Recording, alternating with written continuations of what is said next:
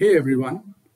In this video, we will learn how to use Python with multiple tables in the Power Query Editor. So I've got this Power BI file open here with me and I've got two tables, data one and data two. And let's say I want to manipulate the data in data one and data two using uh, Power Query, so using Python. So how do I do that in Power Query Editor? So we'll, we'll explore that. So on the Home tab, I'll click on Transform Data and what it will do is, so this is the Power BI desktop and then when I click on Transform Data, it opens the Power Query Editor for me. So you can see that these two tables are available to me, data one and data two, and it's fairly simple. It, it has date and value one, and data two has date and value two. So we'll create another table and we will uh, do a join on these, these two. So we'll use Python script to do that. We'll use pandas.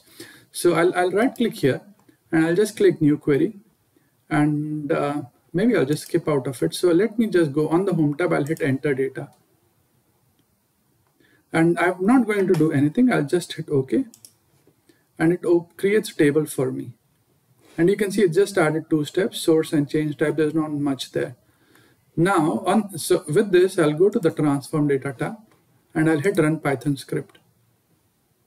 And I'm not doing much. I'm just going to hit OK. So this is step number two and it generates this script or you know it says python execute and then data set. So this is a very interesting one.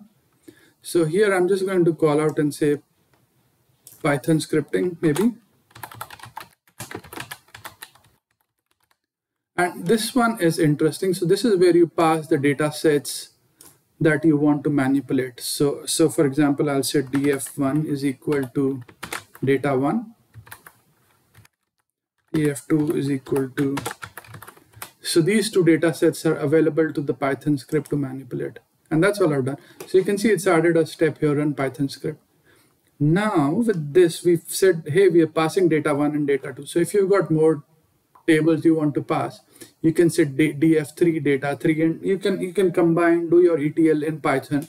So so we, we've got this and then in this gear icon i'll just click the gear icon and it opens the Python script. So this is where I can run the Python script and I've already got the script that I want to use. And because it's a very simple example and you can um, add more complexity should you wish to. So all I'm doing is I'm importing the pandas library, which I'll use to manipulate or merge the two data sets. And then I'm creating a new data frame called df3.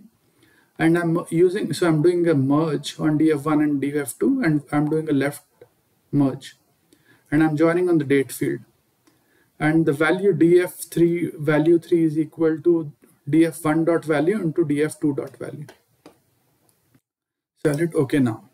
And what it does is it runs the Python script again. So it's giving me three data sets now. So df1, df2 is what we've passed and df3. So I'm not after df1 and df2. Uh, I'll filter it out for now and I'll just keep df3. So you'll see it's added one more step. And now I'll just expand it. So if got date, value 1, value 2, and value 3. So value 1 is coming from data 1, value 2 is coming from data 2, and then value 3 is coming from the calculation we put in the script. So, and i have all I've done is I've expanded this. So you, you can see now, it's giving me, this is the joining field that I used. This is value 1, this is value 2, and this is value 1 into value 2. So let's just go back here again.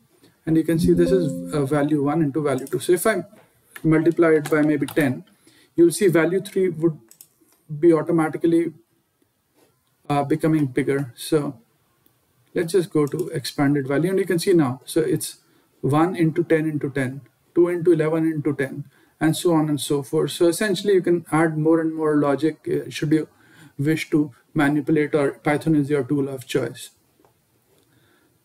so uh, just to recap what we did, we had two tables available to us, data one and data two. We used those two tables to manipulate and merge them using Python scripting, and we created a new table called table three. So how did we do it? On the home tab, we clicked enter data and it created a new table for us. So you'll remember two steps there, source and change type. Then we came into this Python script and here we passed on these df1 is equal to data1 and df2 is equal to data2. That's all we did. And then we clicked on the gear icon and we added our script. So you can add more ETL logic here should you wish to. And that's all we did. And then what it does is it gives us all, so it gives us df1, which we passed on, df2, which we passed on, and the new data set df3. But because we are after the new df3, so we call it table, I filtered it out. So you can see here that we filtered it out for df3 and then we've expanded the values. So here you, we, you, can, you can choose to remove the name and you can choose to keep the values that you want. Um, so uh, that's pretty much it. So uh, just to recap or just to call out what we've done, we've learned how to use Python with multiple tables, which are already available in the Power Query editor. I hope you find this video useful and thanks for watching this video. Uh, please do subscribe to my videos and uh, like what I'm doing. Uh, let me know if you would like me to take any specific topics. Cheers, bye.